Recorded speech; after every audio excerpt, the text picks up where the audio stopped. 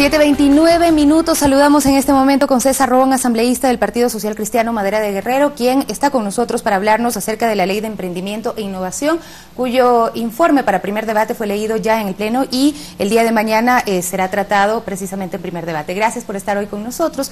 Eh, venimos hablando eh, toda esta mañana de lo que implica la economía del país, el tema de emprendimiento, el tema de productividad. ¿Una ley es necesaria para apuntalar los ecosistemas que faciliten el emprendimiento? Gracias, Sofi. Buenos días. Así es. Eh, en el Ecuador, el día de hoy, 6 de cada 10 ecuatorianos no tienen trabajo. Y los jóvenes, casi ninguno. La situación de los jóvenes, de los emprendedores, de los creadores, de los soñadores, es compleja. Y en el Ecuador no existe un marco jurídico. No hay ninguna ley a favor del emprendimiento. Por lo tanto, este primer proyecto de ley que entra a discusión, a primer debate a la Asamblea Nacional, sería la primera ley de emprendimiento en el Ecuador, con lo cual se estaría generando un marco jurídico para los emprendedores, para la innovación, para que pueda impactar en el desarrollo nacional. El Ecuador necesita crecer, la economía del Ecuador tiene que despegar, la economía ecuatoriana está trancada, está parada.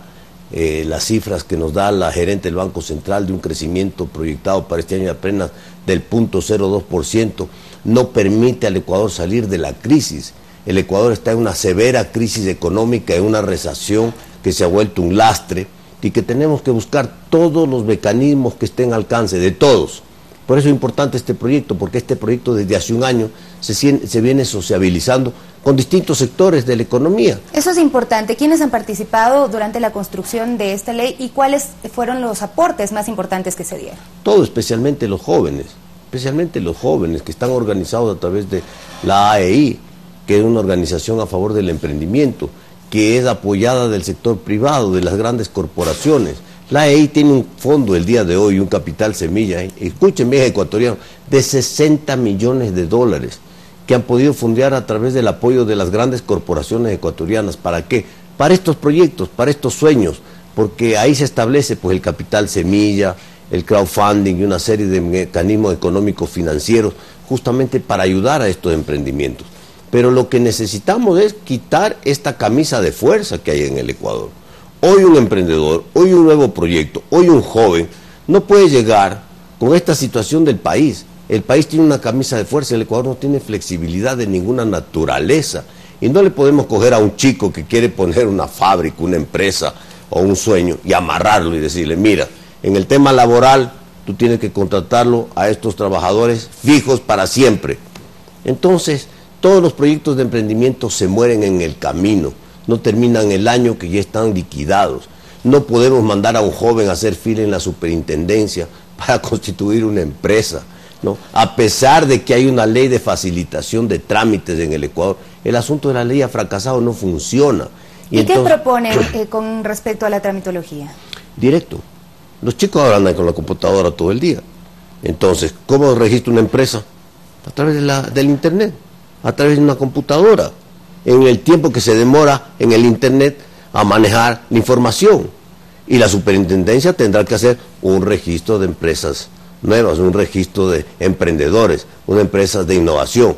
De eso se trata. Cerrar una empresa en el Ecuador es casi imposible el día de hoy. Y justamente también está en trámite una reforma a la ley de, la superintendencia. ¿Por qué? Porque es imposible cerrar una empresa. Y le voy a dar un dato curioso, que es algo de lo que se va a cambiar el día que se va a presentar en el proyecto que va a ir al Pleno de la Asamblea Nacional en los próximos días.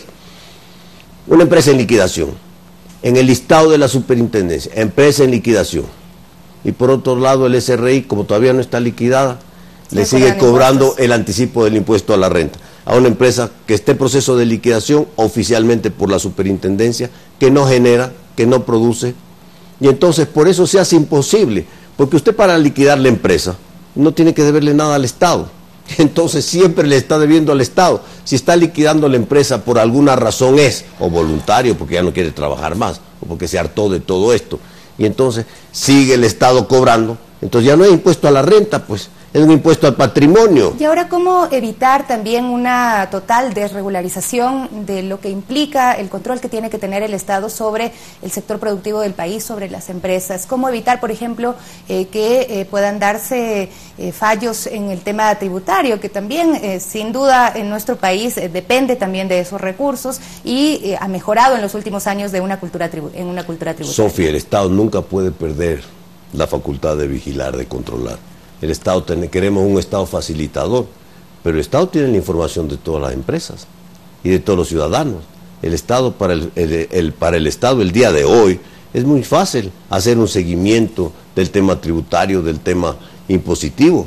Todos están registrados, todo el Ecuador tiene una cultura de pago de impuestos, especialmente en el sector productivo. Por ahí no va el problema. El problema no es ese. El problema es que el Ecuador tiene muchas cargas muy grandes y unas camisas de fuerza inmensas que no permite despegar al país. El Ecuador, hemos escuchado al presidente de la Cámara de Industrias del Ecuador, resulta que el Ecuador no vienen los capitales porque no hay confianza, porque no hay seguridad jurídica. Lo que necesitamos son reglas de juego claras.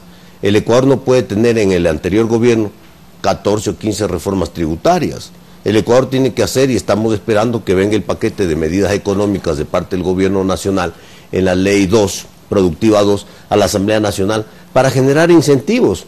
El gobierno ha anunciado que va a quitar muchos impuestos que no generan nada y que son problemas y que son cargas. El Ecuador tiene que ir a un sistema de simplificación para que sea más fácil para el gobierno controlar y para los empresarios también pagar para que sea más sencillo, para que sea directo, para que se evite esta tramitología que nos tiene ahogados. Todo trámite que se demora y que usted no puede sacarlo rápido, eso cuesta plata. Y eso va en perjuicio de la empresa y del Estado ecuatoriano. ¿Cómo ven ustedes el tratamiento de esta ley ya en la Asamblea? Eh, ya usted me decía que, que se va a tratar en primer debate. ¿Hay el apoyo necesario? ¿Se ha conseguido? ¿Ya se ha podido hacer esa gestión? La ley es buena.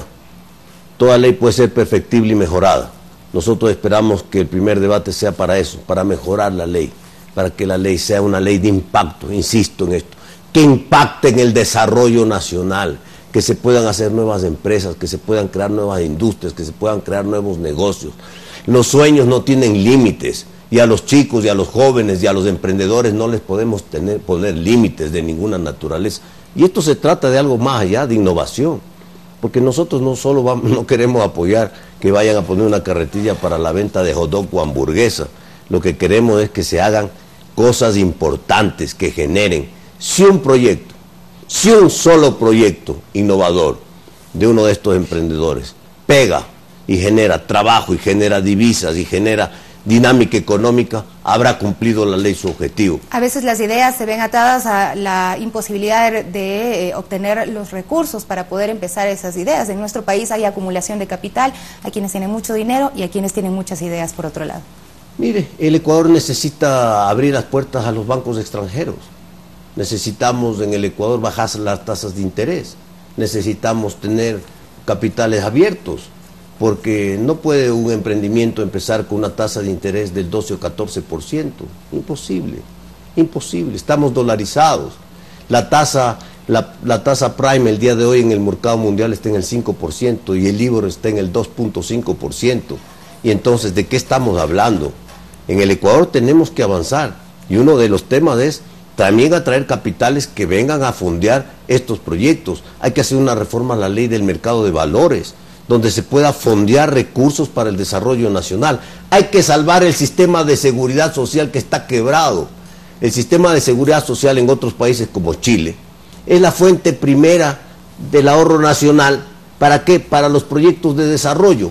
Hoy en el Ecuador no contamos con esa fuente de ahorro interno para el desarrollo nacional. Ese es el problema. Aquí tenemos que ir resolviendo muchas cosas que están que generan este lastre que hablamos. Uno de los principales es salvar la seguridad social y recuperar el ahorro interno de todos los ecuatorianos. No quiero despedirme eh, sin eh, dejar de tratar uno de los temas que habíamos planteado, que es la ley para la racionalización, reutilización y reciclaje de plásticos, que también entendemos pues eh, deberá ser abordada en la Asamblea Nacional. Aquí, ¿cuáles son los puntos principales que se estarían planteando? Hemos venido sociabilizando también con los distintos sectores porque hay sectores muy radicales que manifiestan que el plástico no debe usarse. Y hay otros sectores que dicen que el plástico no hay que botar, sino que hay que reciclarlo. Y entonces se trata de eso, de buscar un acuerdo, de buscar nuevas tecnologías, de buscar innovación tecnológica para evitar la contaminación. ¿no? Como la que vemos en pantalla, que esta es la realidad de las playas ecuatorianas y las del Esto es terrible, esto es terrible, porque además este es un problema de cultura, este es un problema de cultura, de educación, donde los ecuatorianos tenemos que aprender que no podemos botar basura en, el, en la playa y peor las botellas de plástico.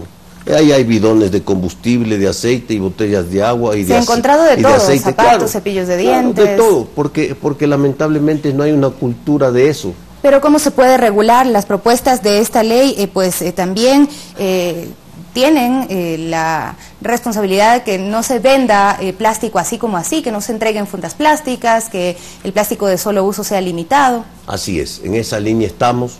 Eh, lo otro, pues hay que también considerar que hoy la industria de plástico ha ayudado muchísimo al desarrollo nacional, especialmente en la industria de alimentos. Usted que ve, por ejemplo, que, que el pollo, que la carne, que los embutidos, que la margarina, que la mantequilla, que el aceite, están envasados en envases plásticos, envases plásticos especiales, ¿no? biodegradables, etcétera. Hoy la tecnología ha avanzado mucho, el plástico ha ayudado puede- mucho a las comodidades del hombre, pero hay que regular. Se puede crear un acuerdo, regular. porque la ley Sí, dice, sí, se prohíbe la entrega gratuita de bolsas plásticas a los consumidores usuarios en los lugares de venta de bienes o productos, así como en la entrega a domicilio. Esto en este momento uno lo ve como imposible porque no estamos No se puede. acostumbrados. Se puede, fíjese usted en los países desarrollados, cuando usted va y compra en la botica un, un redoxón. Entonces la, la- señorita le pregunta, ¿quiere una funda? Y si usted quiere la funda, tiene que pagar por la funda. Esa es parte de la educación de la cultura, que aquí en el Ecuador no la tenemos. Tenemos que empezar la cultura del reciclaje. En el mundo hoy las familias, a- empezando desde la familia, desde la casa, clasifican la basura en orgánica, en cartón, en plástico y en vidrio. Ojalá podamos avanzar en esto porque Así realmente es muy importante Es- para el planeta. Porque si todos no cuidamos, nadie nos va a dar cuidando los mares, como vimos esa foto que es terrible. Muchísimas gracias eh, por acompañarnos el día de hoy.